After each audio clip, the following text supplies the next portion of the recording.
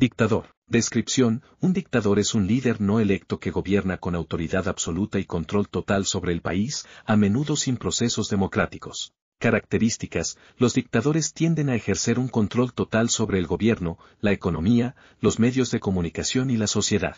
Pueden gobernar por decreto y reprimir la oposición política. Importancia, los dictadores tienen un impacto significativo en la política y la sociedad, ya que toman decisiones unilaterales y ejercen un control total.